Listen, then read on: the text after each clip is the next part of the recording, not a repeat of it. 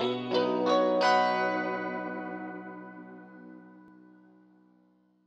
evening and welcome to the Ann Arbor District Library's AADL TV YouTube channel. Thanks for tuning in for tonight's presentation of Exploring the Mind with the University of Michigan's Department of Psychology. In just a moment, Christopher Monk will introduce our guest. If you enjoy this program, don't forget to click like below and follow our channel for more AADL programming. Okay, so thank you very much for joining us today. So I'm very pleased to introduce Dr. Myles Durkee. He'll be presenting some of his very important work. Uh, Myles is an assistant professor in the Department of Psychology here at the University of Michigan. He received his PhD from the University of Virginia in 2013 and was a postdoctoral scholar at the University of Chicago. Uh, Myles's research is focused on examining the dynamics of cultural invalidations, racial discrimination, and racial racial code switching to determine how these types of experiences influence various outcomes like mental health and well being, identity development, as well as academic achievement. In this research, Myles examines how people of color navigate racial contexts, modify their racial behavior to fit in certain contexts, and internalize messages about their, cult- their cultural authenticity from individuals inside and outside of their racial group. Myles's talk is entitled Cultural Invalidations and Racial Code Switching What Are the Psychological Implications? Here is Dr. Myles Durkee. All right, Chris, thank you so much for that warm introduction. I really appreciate it. So, I'm excited to speak with you all today. Um, the title of my talk is Cultural Invalidations and Racial Code Switching what are the psychological implications? So, the work I'll be presenting today should speak to experiences that are very relevant for many people of color in the United States. Um, so, the goal is to talk to you about these common racial experiences, introduce them from a psychological perspective, and to share with you some of the psychological implications of these very common day to day experiences. So, for an agenda for this talk, uh, my goal is to present to you five exciting new studies uh, that my lab has conducted. So, these studies fall across two main areas. So, the first area is cultural invalidations. So, these are identity threats that people of color oftentimes experience. And one of the most common cultural invalidations that we find amongst um, young people of color, young adults of color, is the acting white accusation. So within this acting white accusation that people commonly experience, I'll present two studies. Uh, one will describe the mental health implications of these dynamics. Um, the second will describe uh, racial identity implications over time related to these experiences. And in the second line of research I'll present gets at racial code switching. So this is the process of changing one's racial behavior depending on the context and who they're interacting with. So within racial code switching, one study will look at the factors that contribute to whether or not individuals tend to code switch. Another study will look at the various dimensions of code switching within the workplace specifically. And then the third study we'll look at how the perceptions that Americans hold about individuals that code switch, whether they hold positive or negative perceptions about those individuals. So I first like to start off with a quote from one of our research participants. So this quote is from a Black male participant who's 41 years old. And he says, I constantly dealt with people in white environments and Black environments, coming up with stereotypical first impressions about me. I was always too Black to be truly accepted by most whites and too white to be accepted by most Blacks. I used to try so hard to be what different racial groups wanted me to be. It became very tiring trying to be something different for others. So I really like this quote because it really captures the need and the necessity for my program of research. So on one aspect, we're seeing the invalidations that this individual is experiencing across racial lines. So from white individuals, he can never be fully embraced because he'll be perceived as too black. And then even from black individuals, he also feels a lack of being fully embraced by being perceived as too white. So there's a sense of identity crisis in which he's trying to figure out where to identify across this racial spectrum of identity. And then on the second line, you can see one response to this is that he's implementing racial code switching and changing his behavior, trying to appeal to different racial groups um, in different contexts and different settings. But he also highlights how exhausting and fatiguing this behavior and this dynamic can be of racial code switching and changing who you are to appeal and be accepted by others. So let's dive into this research. Uh, first, we'll talk about cultural invalidations. So this term cultural invalidations is likely new to most of you. Uh, this is a term that my research lab coined uh, last year. And we define cultural invalidations as identity threats that intentionally or unintentionally invalidate a person's membership within one or more social identities. So in my lab, primarily, we look at cultural validations along the lines of race and ethnicity. So oftentimes these are incidents where a person of color, or any individual for that matter, is perceived as an inauthentic member of their racial group. So, by demonstrating behaviors that don't fit with the stereotypes or expected behaviors that others have for how members of their group should behave, that leaves individuals vulnerable to be accused by or to receive cultural validations. So, some examples that people of color receive are examples of being perceived as not being Black enough, not being Latino enough, or Asian enough, or Hispanic enough. Um, and also, too, or being accused of acting white is a very common experience, too. By not fitting those expected behaviors for racial groups, then for people of color, oftentimes the default is then for others to assume that they're acting white or overly assimilating to white standards and white norms. However, as a framework for cultural invalidations, these same invalidations occur across all social identities. So as individuals, we all possess many social identities in terms of our racial identity, our gender identity, our social class identity, our religious identity, even our political groups that we affiliate with. So, across all of these various social identities, we have a set of norms and expected behaviors that we expect authentic members of those groups to embody and to demonstrate. But when individuals don't demonstrate those norms of the group, then that can leave them vulnerable to receive invalidations, both from members within the group and also for members outside the group.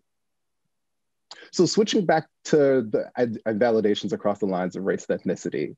So we find that particularly amongst young adults and young adults of color, this acting white accusation comes up over and over again when we ask participants to describe their experience of culture invalidations. So what is acting white, okay? So as we know, there's no one way to act like any particular race. There's not a definitive answer how to act white or how to act black or like any other race. However, this is a common um, insinuation and accusation that does occur in the real world or real world or individuals accused of uh, acting white. So I like to use the broadest definition possible to describe these experiences of acting white.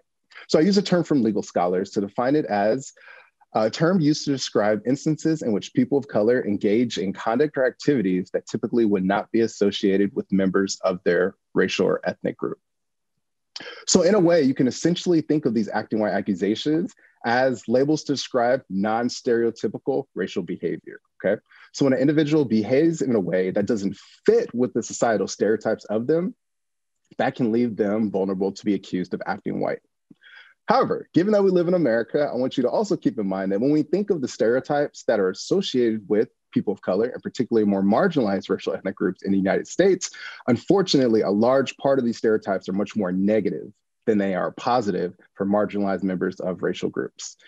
So, with that in mind, many members of those groups do not fit all of the negative stereotypes that are ascribed to their group. So, by simply demonstrating normal behaviors that contrast with these negative stereotypes, you can see how it leaves a basis for these individuals to experience this acting white accusation quite commonly for simple attributes such as uh, getting good grades, being polite, being friendly, uh, being punctual. So, across all these behaviors that are pretty normative and typical, members of particular ethnic minority groups have negative stereotypes associated with them pertaining to those behaviors. So to paint a little bit more context of this, these experiences of acting white, I'm going to share with you a few excerpts from research participants um, that we collected. So these are real world accounts of college students describing their own experiences with the acting white accusation. So both of these excerpts I'm going to share with you were collected amongst college students as soon as they arrived at college. So within, within the first month of arriving at college. So the first quote comes from a Black female college student. And she says, I used to get teased all the time by people of my race about not being Black enough. And I was told that I acted white. A lot of people in my school didn't like me for that reason. So you can see the ostracism and invalidation she's receiving by being accused of acting white and being perceived as not Black enough. This next quote comes from a Latinx male college student.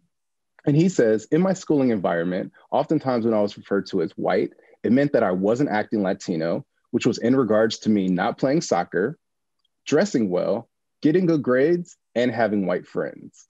So in this case, across a series of unrelated behaviors, uh, this individual is being accused of acting white by not fitting the more negative stereotypes associated with the um, Latino population in the United States. So in the first study I'm going to share with you, um, research team, we wanted to understand what is the internalized meaning of the acting white accusation amongst diverse college students.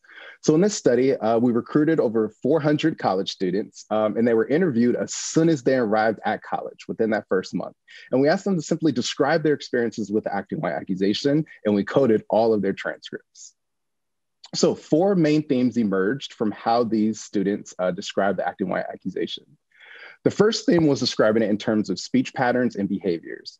So in terms of speech patterns, one particular aspect is the style of speech. So although the, all of our entire sample all spoke English, but the way in which they spoke English, the accent or dialect that they spoke English with was also racialized. So speaking one way of English with a particular accent was seen as more authentic for their group, but then speaking in standard American English was perceived as not typical for their group and could leave them vulnerable to being accused of acting white. Uh, also, in terms of language, for the Latinx participants specifically, not being fluent in Spanish was also perceived as others as a marker that they were somewhat less authentic or less authentically Latino. They also highlighted respectable behaviors, which are expectations to behave in a proper or prep, preppy way. Um, and they distinguished these behaviors from pretentious behaviors, which were much more condescending, elitist behaviors of oftentimes looking down on other members of their in group. Um, and they described these as uptight, stuck up, or even bougie behaviors. The next main theme were fall along the lines of style and social preferences. So these varied across a range of different attributes that were all racialized. And within all these different social preferences and style preferences, there was a quote unquote right way for members of the group to behave and a wrong way. So this fell along the lines of clothing preferences, music genres, activities and sports, um, even uh, interracial friendships, and also food preferences as well were all racialized. Um, an individual spoke to that kind of racial, walking that fine racial line in these behaviors. The next main theme involved cultural ideologies. So along these cultural ideologies, there are two main subthemes, and the first was cultural alienation. So this is described as individuals who intentionally aim to de-identify with the group in order to separate themselves from the stigma and discrimination that afflicts their racial and ethnic group. So intentionally trying to separate themselves from that stigma um, and and um, discrimination by de-identifying with the group.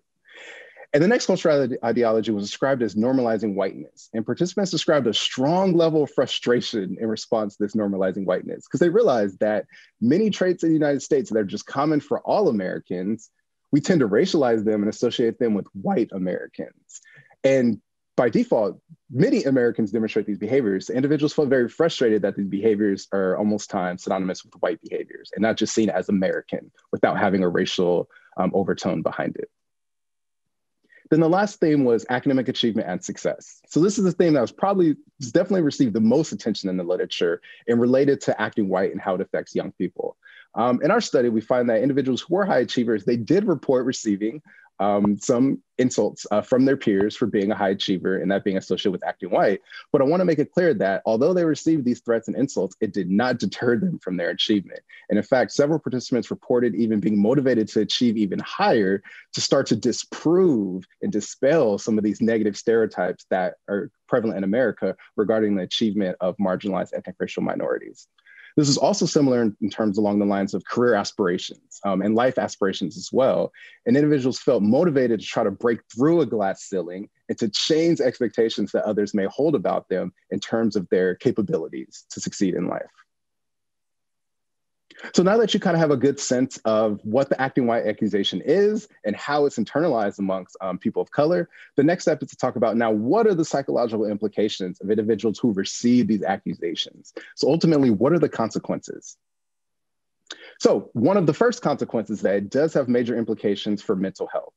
And overall, across my own research and research from other psychologists, we find that individuals who are accused of acting white more frequently do report more severe mental health implications in terms of greater depressive symptoms and greater anxiety symptoms. So it does have an adverse um, effect on mental health. In addition to mental health, those who are accused of the acting white accusation more frequently also have negative implications in terms of their own racial identity development. So being accused of acting white is associated with lower racial private regard, and private regard is how positively you feel to be a member of your own racial or ethnic group. So that sense of pride. Um, and also public regard, which uh, acting white accusations have a negative implication on. Public regard is now how positively you feel that society views your group. So for individuals who experience these accusations more positively, they then tend to view that society has a less positive view of their own racial group. So the next study I would like to present to you, uh, now that we know that these acting accusations have adverse implications for mental health, we want to know does the perpetrator of these acting accusations have distinct implications for mental health? And particularly, are these acting accusations more detrimental when they occur from a member within your own racial group as opposed to a member outside of your racial group? So our first research question driving this study was, does the racial background of acting white perpetrators influence mental health outcomes during their transition to college for Black and Latinx students? So this is a longitudinal study where we sampled students once again as soon as they arrived at college, and we tracked their experiences over that first year of college to see how their experiences with the acting white accusation had implications for their mental health at the end of that first year. And really, we were interested in whether being accused by a member of your same race was going to be associated with more adverse mental health consequences, because being accused by a member of your same race could trigger a sense of cultural betrayal that other members of your group now see you as a quote unquote traitor to the race, okay, or someone who's not working in the group's best interest. And that can lead to a very different process that can be more detrimental than if these individuals are accused by members outside of their racial group, where that sense of cultural betrayal may be less prevalent.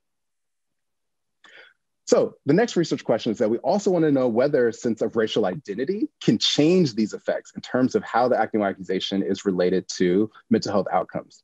And particularly, we wanted to see whether racial identity centrality changes these associations. And centrality is the importance and significance that individuals associate with being a member of their racial ethnic group. So overall, how central is it to an individual's sense of self based I'm, I'm sorry. So how central is the individual's uh, racial ethnic membership to their overall sense of self, okay? How important is that?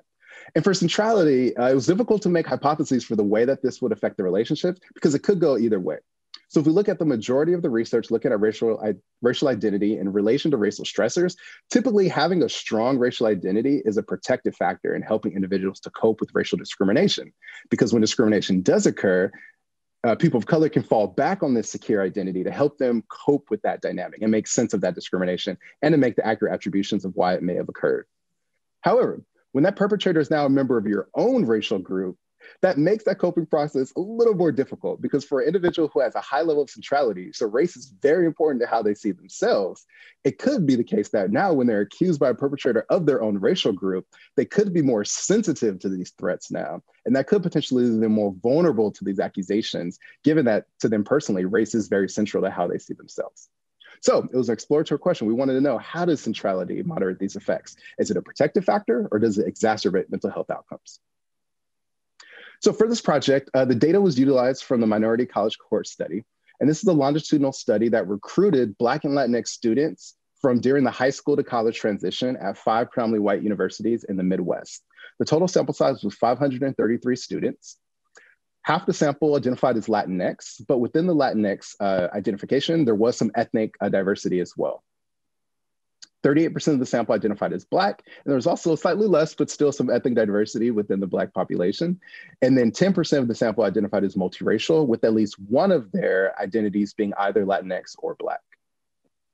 We did have more women in the sample than men, uh, but actually the skewness in gender distribution was representative of the actual gender distribution at the universities that we sampled. Where at each of these universities, when you look within the population of students of color, there were more women of color at these institutions than there were men of color.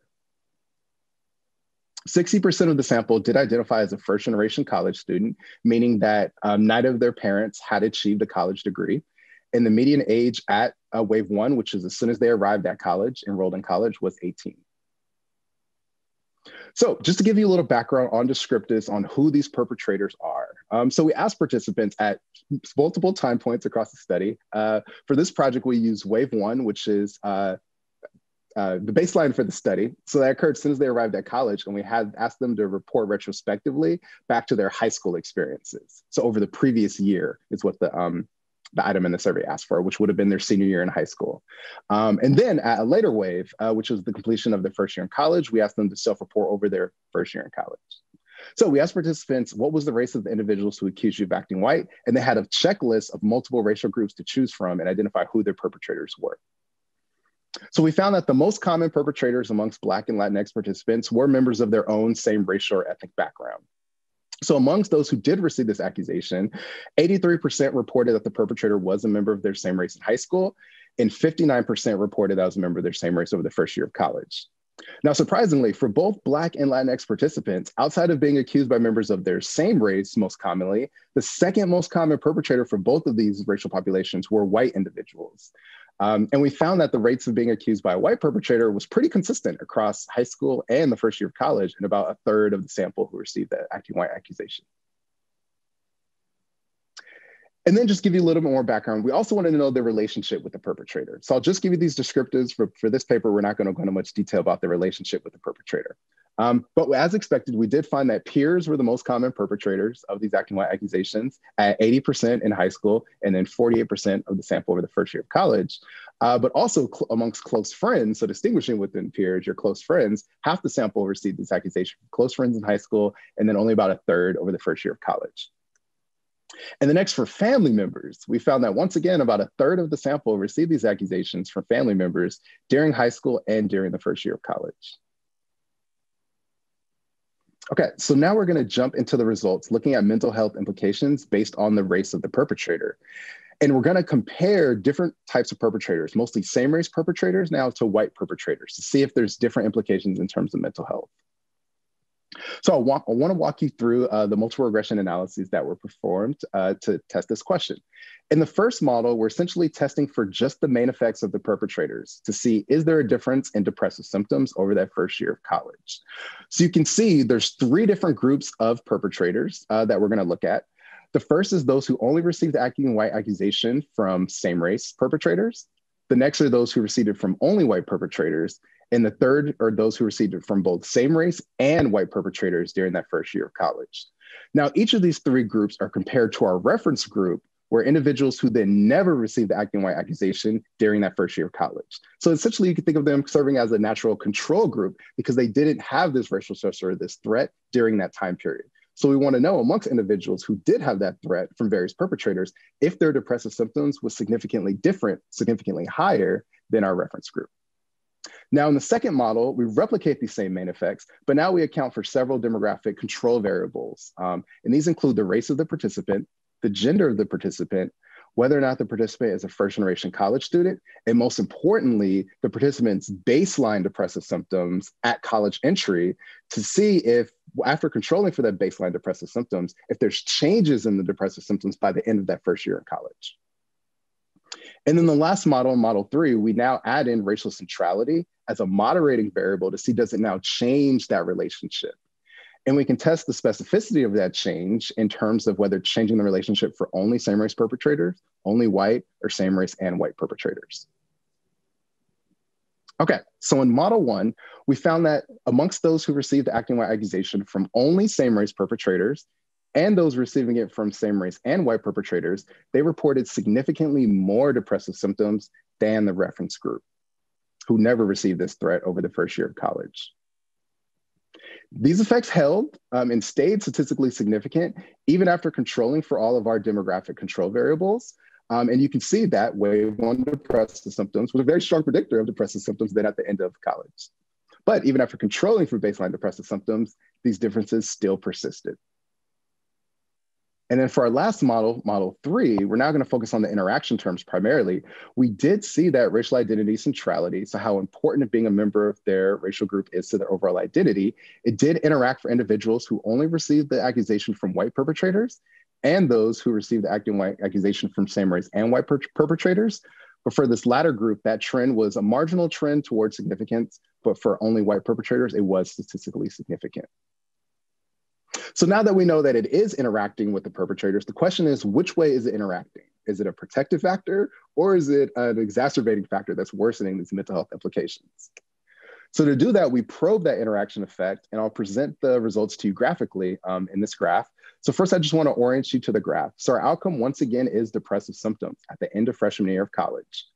And we're also controlling for baseline depressive symptoms, the race of the participant, their gender, first generation college status, and the university they attended.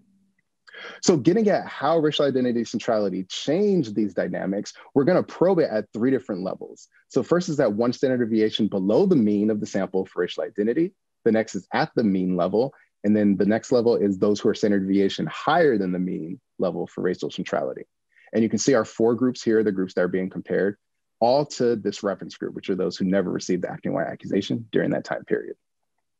So first I'll point your attention to the groups where there was no effect across racial centrality. So you can see for the reference group, across the three different tiers of racial centrality, there's really no effects. These levels of depressive symptoms are staying pretty consistent. The same pattern emerged for those who received the acting accusation for only same race perpetrators.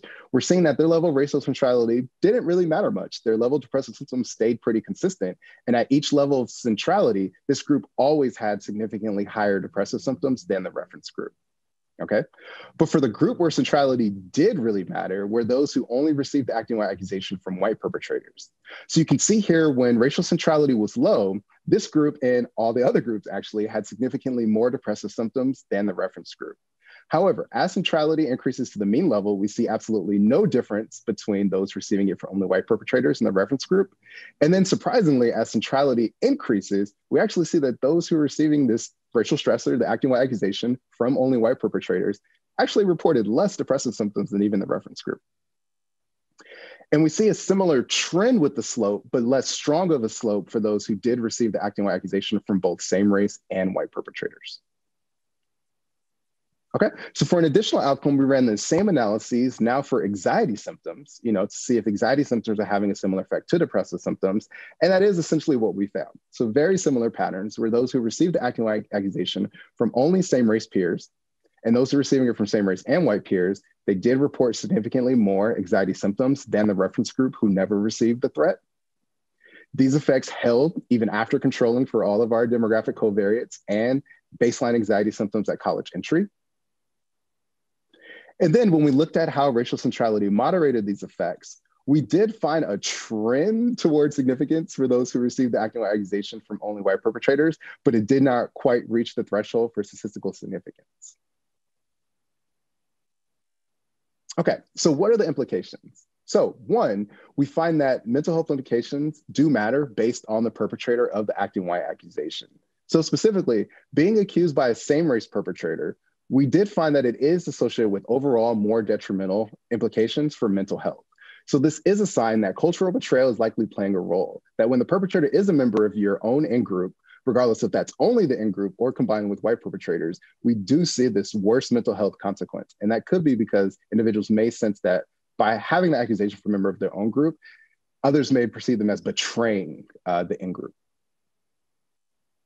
And we find that racial identity centrality did serve as a protective factor to buffer against an increase in depressive symptoms, but only when a white perpetrator was involved in this acting white accusation. So we found that racial identity overall was not serving a protective role when the perpetrators were occurring from members of their same racial group, particularly when it was only perpetrators from their same racial group. So this suggests that the coping processes are likely entirely different based on the perpetrator of these acting white accusations. So when that perpetrator is a member of your in-group, it's likely that individuals need a unique set of coping responses to deal with this threat because it's likely this threat has different meaning compared to when they're accused of the same accusation from a white perpetrator. So this requires additional data collection that our lab is currently in the process of collecting data to understand how these coping processes look different when the perpetrator of these dynamics is from a different racial background. So for the next study, we wanted to look at now, now that we know that they know a little bit about the mental health implications, what are the racial identity implications of these acting white accusations? So the first research question was, what are the longitudinal implications between the acting white accusation and racial identity development over time during emergent adulthood? So for this study, we looked at during the first two years of college, how these acting white accusations and racial identity influence one another. And essentially, we wanted to establish or figure out what is the temporal ordering between these variables, these variables. And the temporal ordering is getting at which variable is predicting the other variable over time. Is it that acting white accusations potentially serve as an experience that triggers individuals to think about the racial identity? And that experience of being accused of acting white can motivate greater racial identity development over time? Or is it that racial identity occurs first and that racial identity can determine whether or not individuals even experience the acting white accusation in the future. Okay. So it kind of goes back to this classic question of which comes first, the chicken or the egg. And then in addition to that, we wanted to know whether the race and gender of the participant matters to determine if individuals from different racial and gender backgrounds are having different developmental patterns over time in relation to these two variables. So uh, I just want to note that across all the analyses I'm about to present, uh, we did control for the socioeconomic status of the participants. Uh, we also controlled for their high school racial composition, because that can have an influence on their you know, early initial racial beliefs. And we also controlled for the actual university they attended. Uh, this is using the same data set from before the minority college cohort study. And I'll only be presenting the results for racial identity centrality, centrality, where once again, centrality is how um, the, the importance that individuals associate with being a member of their particular racial ethnic group. So overall, we found that race and gender mattered a lot, and there were distinct developmental patterns based on the race and gender combination of the participant. So I'll start with the developmental patterns for Black women. So just to associate with this figure, uh, we measured these effects across three critical time points. So the first time point was immediately at college entry as soon as these students enrolled in college. The next time point was the end of the first year of college. And the third time point was the end of the second year of college. So at the top, you'll see that we have uh, exposure levels, so the frequency in which they were exposed to the acting white accusation for each time period. And you can see that it does predict itself over each time period, so pretty stable. And then at the lower end, we have the level of centrality over each time period. And we also found stability and centrality in predicting itself over the time periods. So the most important aspect to focus on for this research question are these cross-lagged effects to see how is one variable predicting the other variable over time. So for the solid lines, that indicates a statistically significant pathway, and the dashed lines indicate that that pathway was non-significant. So for Black women, we see that uh, based on their level of racial identity centrality at the end of freshman year of college, this had a negative association on their level of exposure to the acting accusation during the following year of college. So for women, for Black women who already had a high level of racial centrality ending that first year of college, they were less likely to even experience the acting white accusation by the end of their sophomore year of college. Now, for Black men, we found a different pattern. So for Black men, we found that acting white exposure, and this is acting white exposure during the senior year of high school, it predicted lower racial identity centrality development at the end of the freshman year of college and centrality at the end of freshman year of college was again inversely related to acting white exposure at the end of sophomore year of college. So if we think of this like a cycle, so black men who entered college, or I'm sorry, so black men who had a high level of exposure to acting white accusation in high school, they didn't experience lower racial identity centrality during the first year of college. And if they did have that lower centrality development over the first year of college, then that will make them more likely to even experience additional acting white um, accusations during the sophomore year of college, okay? So at each time point, there's an inverse negative relationship between these two variables. And then for Latinx men, we also found a different developmental pattern. So in this case, the pattern occurred between the freshman year of college and sophomore year of college. And we found that both of these factors, uh, there's a bidirectional relationship in which they both predicted each other. And at across both uh, cross-lagged effects, it's a negative inverse relationship. So higher exposure to the active accusation after freshman year was associated with less centrality development, and centrality development was associated with uh, inversely related to acting white exposure as well. So to summarize these effects, uh, this is once again those same models plotted.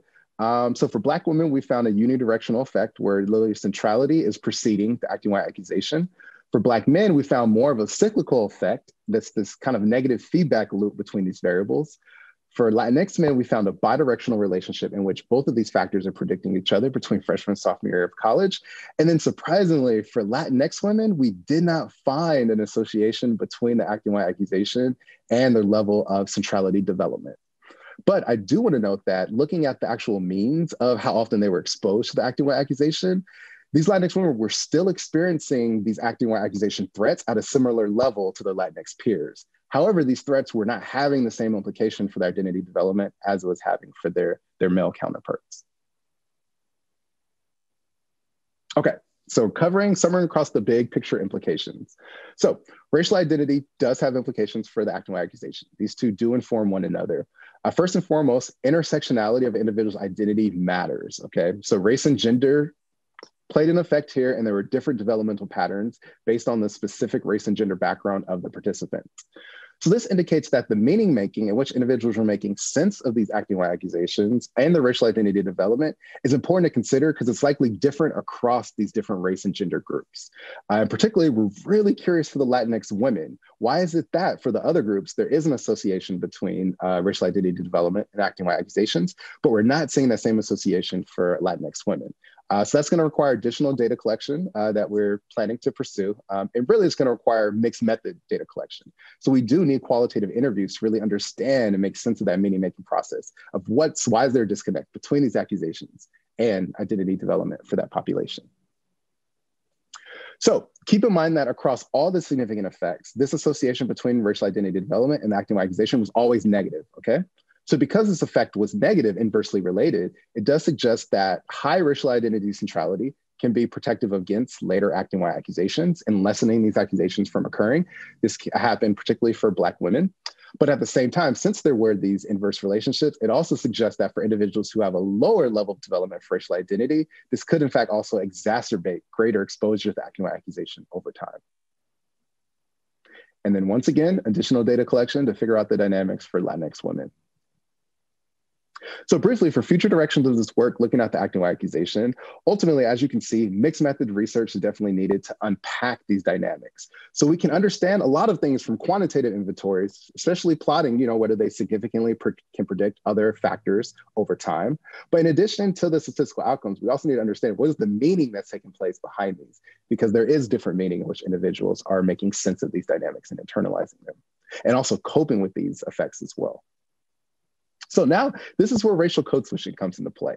Uh, so from the qualitative information we've collected thus far, we have found that racial code switching is a coping response to address these cultural invalidations. So for an individual who may be perceived as less authentic for members of their own racial group, even outside of their racial group, they can change their behavior uh, when they're interacting around certain people to indicate certain racial cues uh, to increase that level of acceptance with those groups, okay? So racial code switching in the process in terms of managing their racial profile, depending on who they're interacting with, who they're talking to, is one way to um, a proactive way to cope with this threat of cultural validations. But as you recall from the uh, excerpt, the quote that I presented at the beginning of this presentation, racial code switching is not easy and it's very tiring and fatiguing. So as psychologists, in the next studies I'll present, we wanted to understand what are the costs and the benefits of individuals who engage in racial code switching. So to start off, what is code switching? Okay. So code switching was first coined by linguists, and it was used to describe the practice of alternating between two or more languages or dialects within a single conversation. So focusing on specifically one style of speech, code switching is switching between different languages entirely, or just different dialects speaking the same language within a single conversation.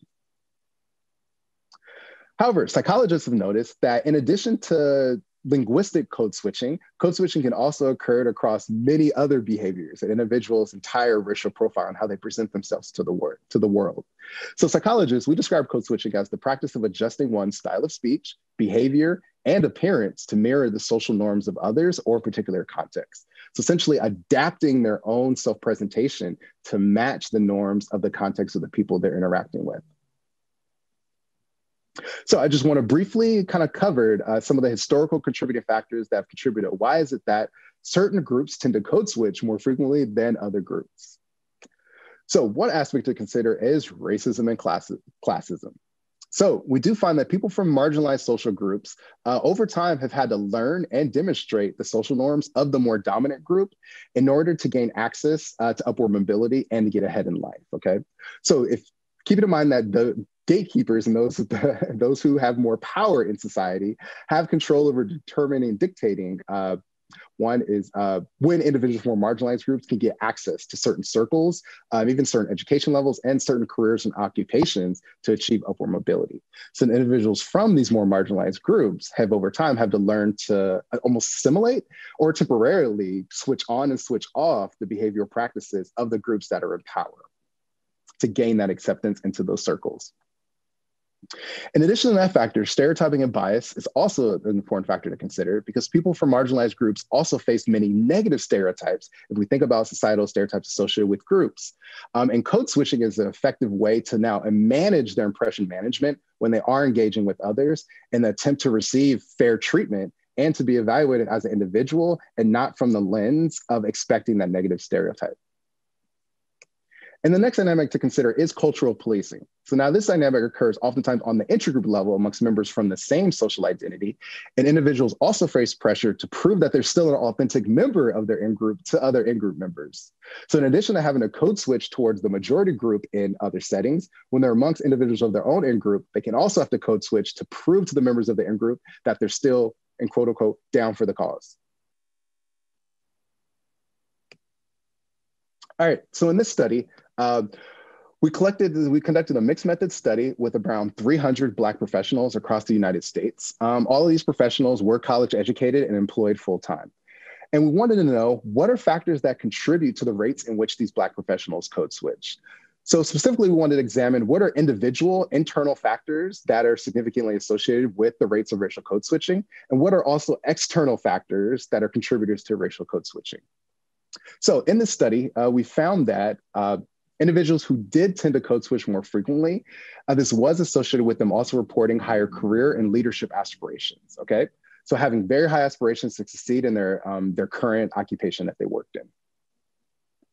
We also found that these rates of higher code switching were associated with a greater perceived fit with the company culture in which they currently worked within. And we did find that individuals who did code switch more frequently also reported higher levels of vigilance. So vigilance is the anticipation of bias or discrimination to occur. So for individuals who have an anticipation that they might be treated unfairly, we found these individuals tended to code switch more frequently when at work. Now, these are all internal factors leading to code switching. In terms of contextual external factors, we found that the racial composition of the workplace was significantly associated with the actual rates of code switching amongst these Black professionals. But the trend of this effect was not exactly as you would expect. So we did find that for Black professionals who worked in predominantly white workplace environments, they did report uh, higher than average levels of code switching, but they didn't report the highest levels of code switching. And in fact, individuals who reported working in the most racially diverse workplaces where there wasn't a single majority group, they reported the highest levels of code switching across our sample. So one reason why that might take place is that for individuals who work in very diverse workplaces, uh, throughout their day, they're likely having to code switch to different profiles, interact with members from different racial backgrounds. So if they're working from individuals from their same racial background, individuals from multiple other racial backgrounds, throughout the day, they're adapting their code switching in real time to interact with members from those different, uh, different cultural backgrounds. And in comparing that to individuals who work in predominantly white contexts, uh, if they're given that they're black professionals themselves, once they get to work, they're still code switching, but they can turn on one racial profile at work, which is to appeal to a predominantly white audience um, in that circumstance, rather than having to adjust it uh, much more at a uh, uh, proximal level. Okay, so the next study was now getting at, now what are the different dimensions of racial code switching and what does it look like within the workplace? Uh, once again, amongst Black professionals. So for this study, we developed a scale to get at uh, racial code switching amongst Black professionals. And within this scale, we identified that there are three main dimensions of racial code switching uh, for Black professionals in the United States. The first dimension is downplaying one's racial identity. So some examples of downplaying racial identity um, are that these are instances where individuals intentionally try not to talk about topics that are racialized topics that might draw attention to their racial identity differing from the identity of maybe many many other groups in their workplace. So this can include topics such as reparations, um, affirmative action, um, even events that occurred in the United States with police brutality and the killing of many Black individuals that has occurred within 2020 and many years prior to 2020. So topics like this that are very racialized, individuals will downplay trying to bring up these topics because they don't want to draw too much attention to their race. And additional examples are individuals intentionally changing their hairstyle uh, away from a natural hairstyle to not draw more attention or fascination to their hair from their colleagues. That would then difference them or other them from the majority group in the context. And another example is uh, avoiding one example item from the survey is I avoid behaviors that will make other people at work think that diff- I'm different. So intentionally not trying to be perceived as an other or different from the core uh, uh, population within the workplace. So, in additional research and related to this specific dimension of code switching, uh, we wanted to know what are the costs and the benefits. So, I'll present to you right now both the cost and the um, consequences of each of the three dimensions within our racial code switching scale. So, we found statistically that uh, one co- one benefit actually that's associated with downplaying one's racial identity is that it was associated with increased perceptions of professionalism within the individual's workplace. So for individuals who engage in this dimension of code switching more frequently, they perceive themselves as being perceived more professional by their colleagues in their current job. However, one consequence is that higher rates of downplaying one's racial identity was associated with greater feelings of inauthenticity uh, in terms of their racial ethnic affiliation, um, and also was associated with a higher likelihood of being accused of acting white. Now, the next dimension of racial code switching amongst Black professionals in the workplace is avoiding stereotypes. So this was very explicit efforts to avoid chronic stereotypes associated with the Black race, very explicit stereotypes. So some example items from our survey include, I avoid behaviors that will make people at work think that I'm, I'm lazy. I avoid behaviors that will make people at work think that I am less intelligent. And I try not to speak too loudly. So across each of these dynamics, uh, individuals who are Black or African American face very chronic stereotypes associated with these uh, attributes in our society. So these individuals report that they go out of their way to, to, um, to avoid demonstrating any cues that can trigger their colleagues or other individuals to think of them from that stereotypical lens. So some of the positive attributes that are associated with this dimension of code switching is that it was associated with more positive performance evaluations. The individuals felt they were evaluated more positively in their current position. Um, they also reported increased perceptions of their leadership ability in their workplace organization. However, some of the consequences of this uh, dimension of code switching is that it was also correlated with just being more emotionally taxing overall. Um, and one participant actually responded with feeling the need to have to work twice as hard only to get half as far because of these chronic stereotypes that kind of can hold their members of the racial ethnic group back from getting ahead and being perceived as um, deserving of promotion and hiring, they felt that they do have to work twice as hard to circumvent these negative stereotypes. Um, and this dimension of code switching was also statistically associated with higher levels of burnout in their current workplace. Uh.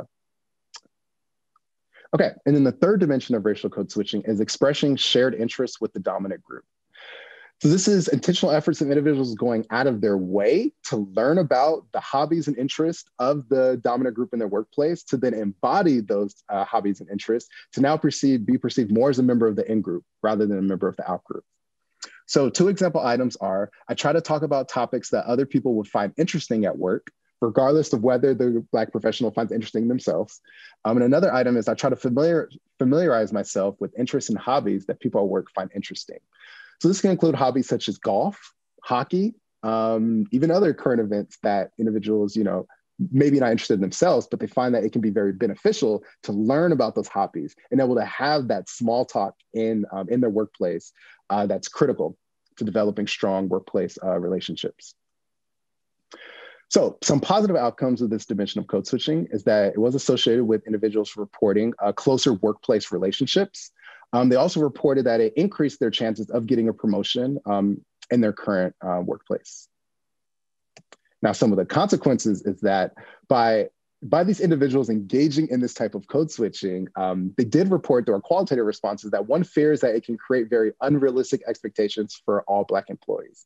So if this if one particular individual tends to code switch in this way, then one scary factor is that if they're a token individual representing their whole group and they code switch in that way, that it could set this expectation that now all other individuals who follow them in that workplace are also expected to learn and embody the same exact interests of the dominant group.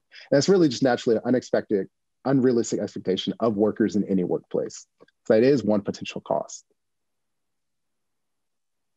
Okay, and now for the final study. Um, now that we know um, more about the um, natures, the contributing factors to code switching, um, what the dimensions of code switching look like, and some of the cost and benefits of code switching, we wanted to get a sense of how do Americans feel about Black professionals who code switch? So through an experimental study, we manipulated uh, profiles of a Black professional who either engaged in explicit code switching or did not engage in code switching. And we wanted to know how do Americans judge the professionalism of that individual? Is there an advantage to code switching or is there a consequence? So this was an experimental study that manipulated whether a Black coworker um, engaged in racial code switching at work. So participants in the study received uh, an email from a fictional coworker. And in this email, the coworker is giving participants advice on the unspoken ways to succeed at the law firm that participants were told to imagine themselves they were just hired at.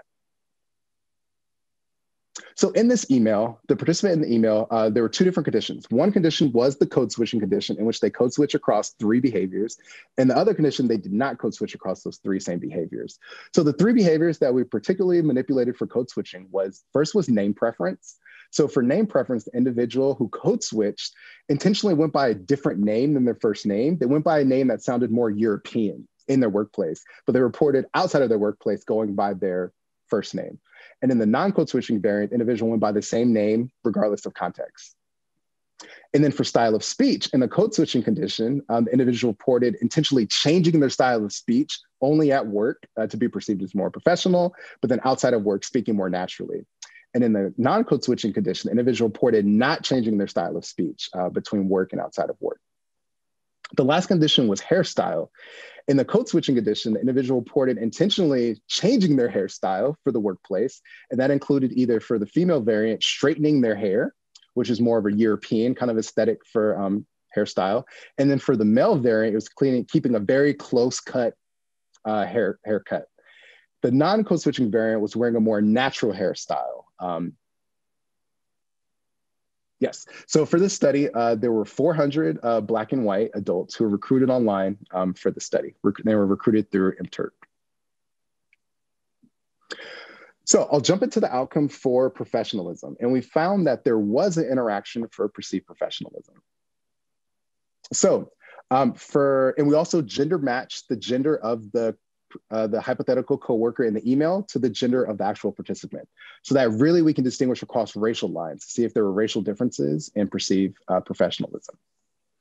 So we found that for amongst male participants um, in the non-code switching condition, where the coworker in the email reported that they did not code switch, we found that Black men in the study reported significantly higher levels of perceived professionalism for this individual than white men in the study.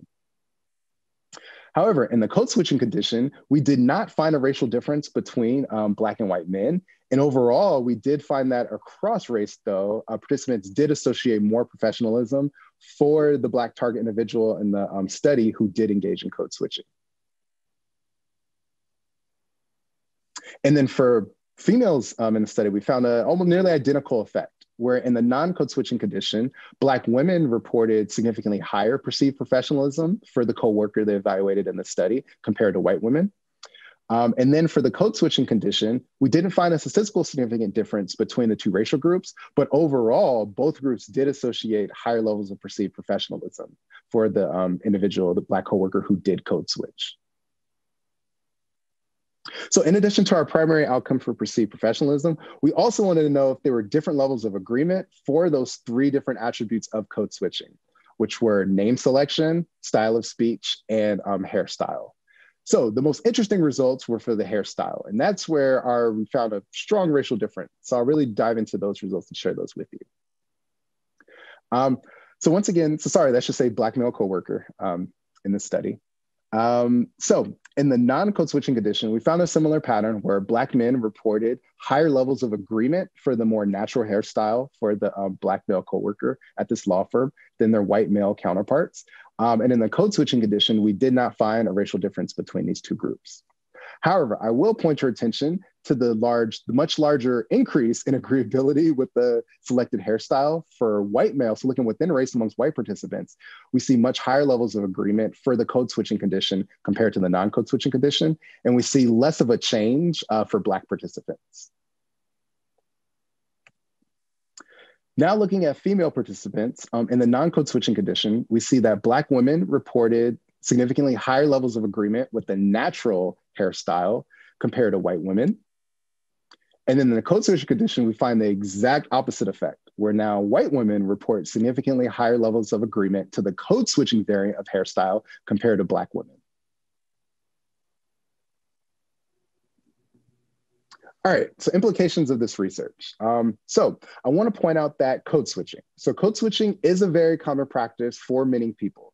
and particularly in which code switching to distinguish between your casual behaviors and your professional behaviors. So this is very standard code switching that nearly every employed individual in this country engages in.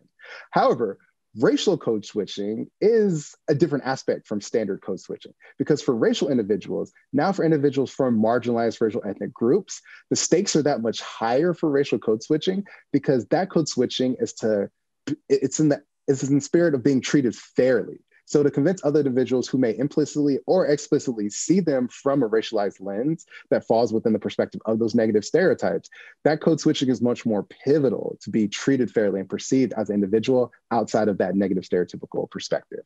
So with that in mind, the stakes for racial code switching for ethnic minority individuals are much higher than the more standard racial code switching that they naturally also engage in between casual professional and that all other individuals engage in. And then along the lines of racial code switching, code, this code switching presents a double-edged sword where we're finding that there are clear benefits to this code switching. We see these both um, in occupational benefits um, and even some psychological benefits in terms of impression management and how individuals feel that others perceive them more positively when they code switch. But at the same time, I want to emphasize that racial code switching is not easy. So imagine presenting yourself with a completely different personality as a completely different person whenever you're outside of your household interacting with individuals from other racial ethnic backgrounds. That's not an easy task. And to do that, you have to stay consistent in that behavior. So the moment where individuals may slip up in that profile that they're presenting, that can then lead them vulnerable to now be perceived negatively. Individuals know they're code switching. So ultimately, to code switch effectively, you don't want your audience to know that you're code switching. You want your audience to believe that that is you in your workplace. That's how you are as a person. So that's why code switching presents a double-edged sword, where it has clear benefits. Um, it can lead to many professional and educational, you know, outcomes, but at the same time, it comes with major cost, and it is work, and it, and it requires a significant amount of cognitive load to do it effectively. Um, we also find that perceptions of code switch, they do differ based on the specific behavior that's being evaluated and also based on the race of the evaluator that's evaluating the code switching. So we see that there are different dynamics in terms of whether in-group members are evaluating this code switching compared to out-group members. So I would like to end with another quote to kind of wrap up uh, this work. So this quote comes from another Black male participant who's 30 years old.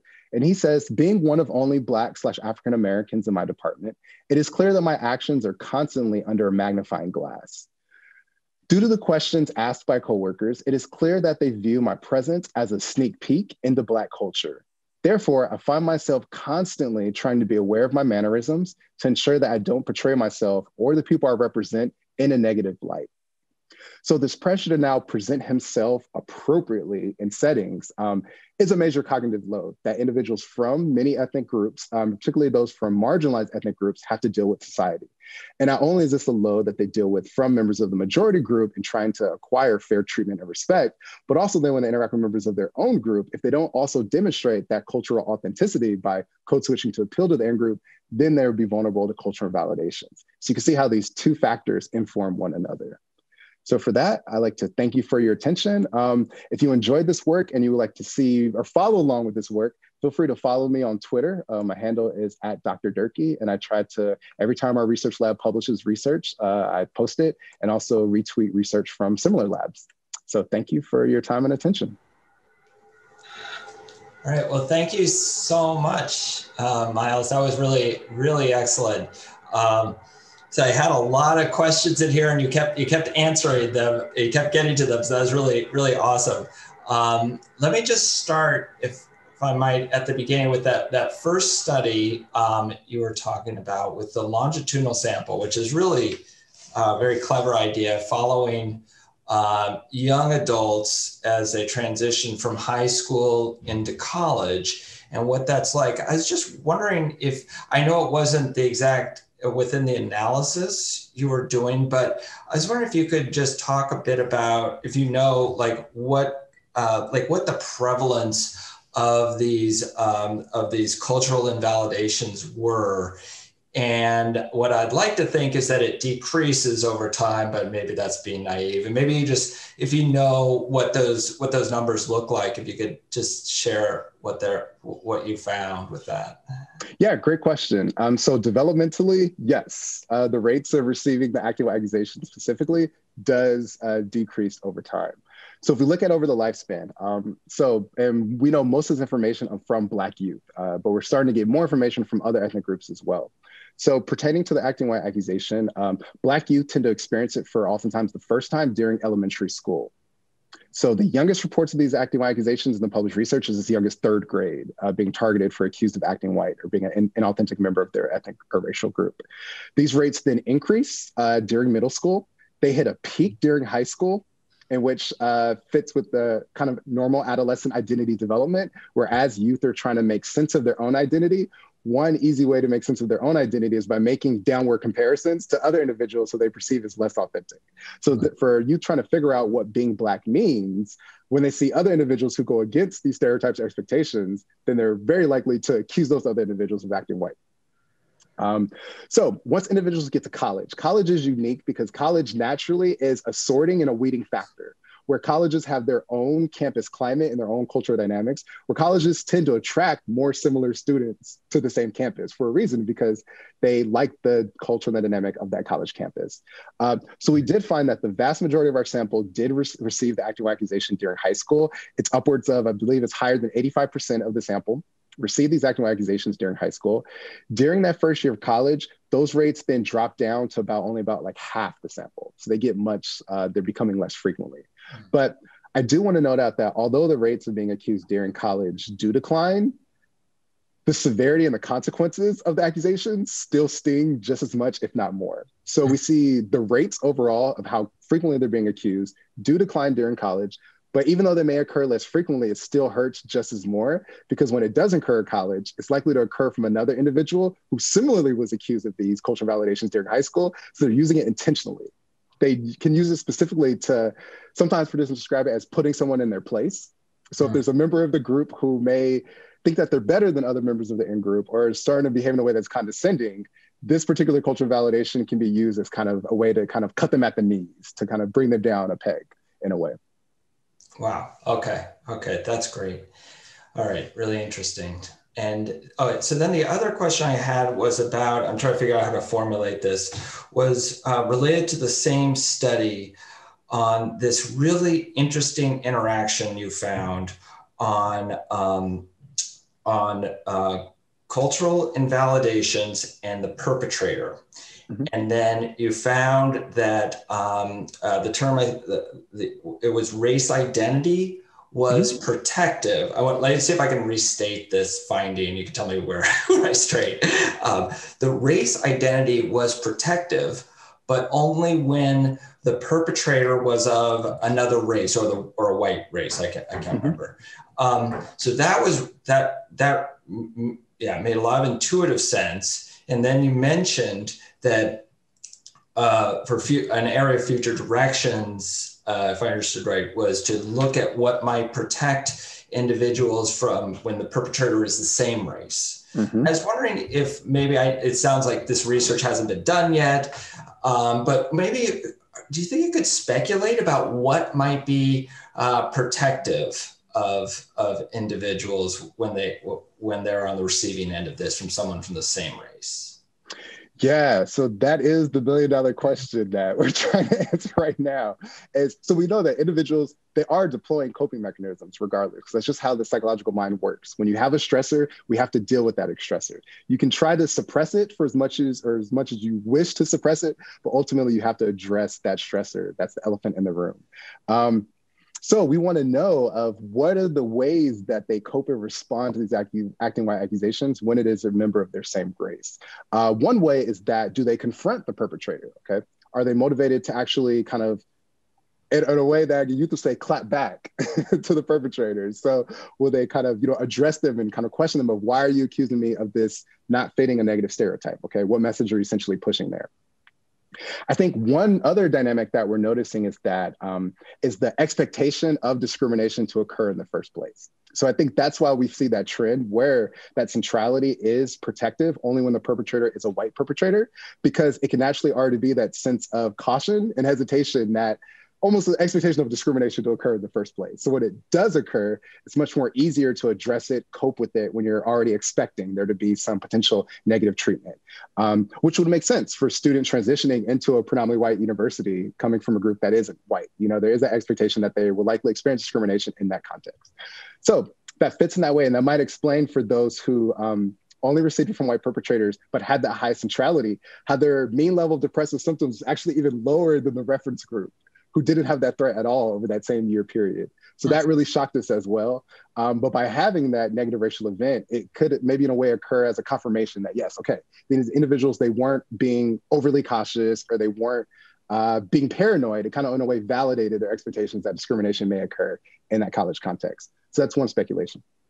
Um, so in terms of coping with members from your own racial group, uh, one difficulty that we're, we like we've seen in our qualitative work is that individuals tend to be caught off guard. So one reason is that when you transition into a predominantly white university, the most common dynamic that happens next is individuals tend to seek out safe spaces. And that safe space is typically comprised by members of their own racial ethnic background.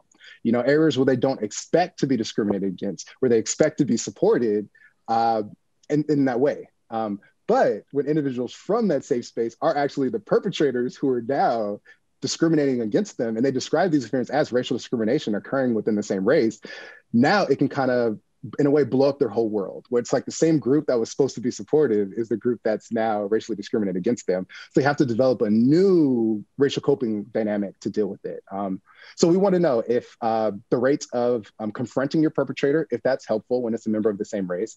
Uh, we want to know if rumination plays a role here uh, likely rumination may have detrimental effects, or that rumination could be them trying to make sense and work through the information, likely leading to identity development. It could go both ways.